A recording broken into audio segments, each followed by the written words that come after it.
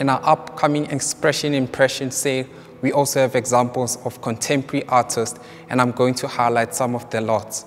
From one of the influences of early contemporary South African Expressionism, David Koloane with an example of a radically simplified and brightly colored street scene, to an example by Yolanda Mazwane, whose work is centered around mental illness, phobias, and storytelling, executed with textures and bright uh, pinks that dominate the canvas.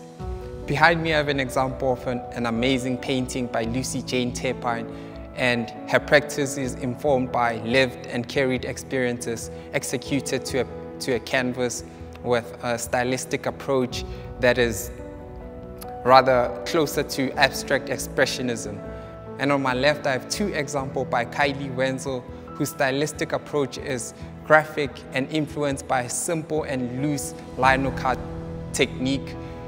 And the list of impression expression artists goes on to Mike Barker, the amazing Georgina Gratrix, and Mia Chaplin, whose practice, like the rest of them, is informed by uh, intimate spaces, people, and plants.